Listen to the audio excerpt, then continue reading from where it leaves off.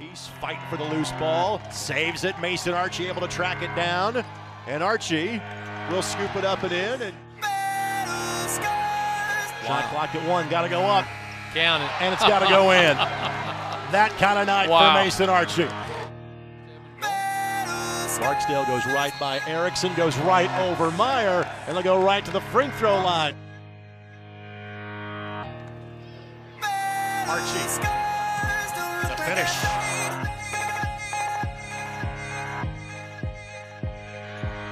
Nice look.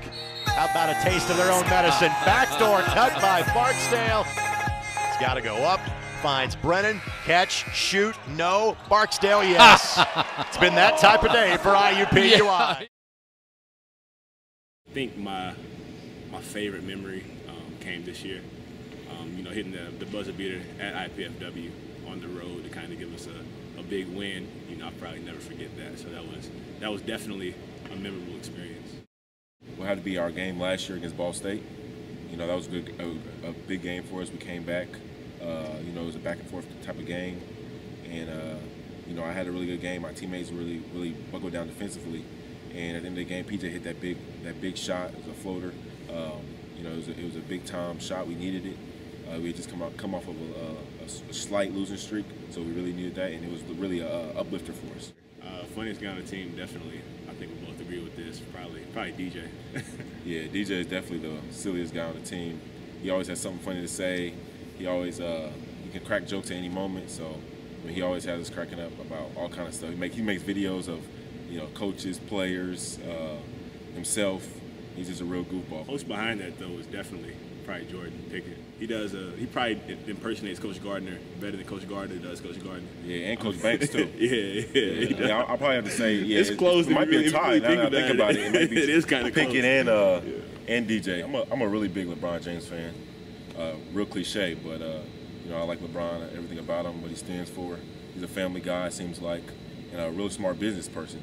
So uh, you know, I really I really don't just admire what he does on the court, but I really enjoy what he does off the court for kids, for uh, his family in general. Uh, I'm definitely a, a Laker fan. The last few years haven't been too good for us, but uh, I mean Kobe's my favorite player. But um, you know it's been good to you know kind of see him get sent off the right way. But uh, you know I think he might might have a little something left in the tank. Uh, my biggest role model would probably be my parents, for sure.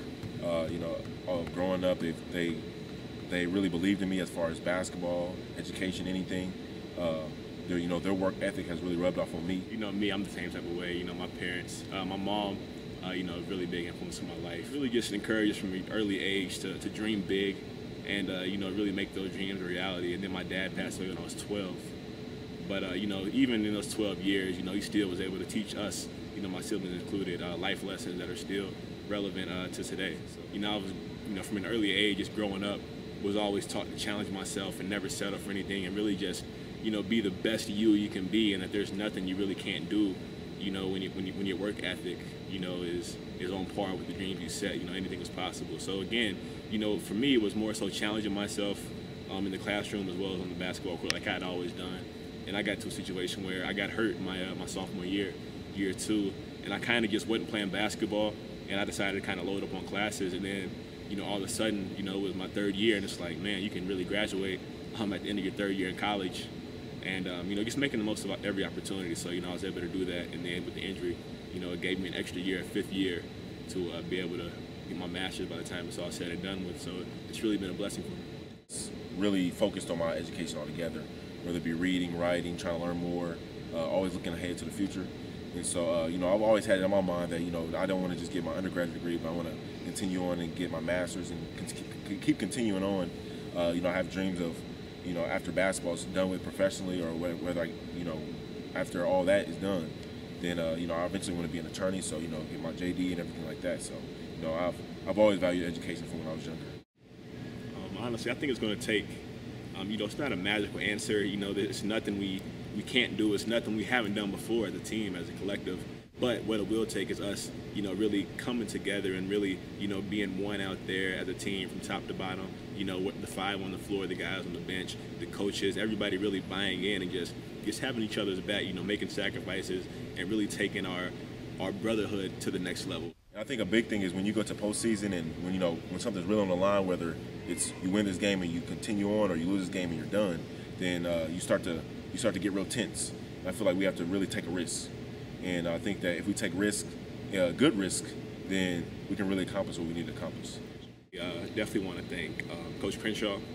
Um, you know, really, honestly, me and him are really one of the few. He's really the only constant um, that I've had at IUPUI during my five years. You know, I've been here. You know, seemed like forever ago with all the changes that have been made. Um, you know, really, I've, I've, been at IUPUI almost three eras. You know, with the Hunter era, Coach Howard, then Coach Gardner. But I'm really Coach Crenshaw has been been the one constant. You know, from from day one, from my recruiting process to my senior year in high school to now my senior year, fifth year senior uh, here at IUPUI. But you know, it's really been been a blessing to see how um, you know just just the culture and everything has changed around here.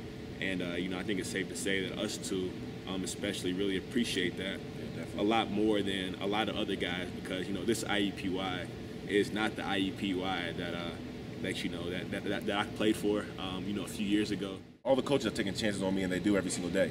Uh, you know, they really believed in me. Coach Gardner believes in me and uh, that that'll mean more to me uh, than anything. You know, when somebody believes in you or somebody takes a chance on you, uh, you know, you can never thank them enough for that.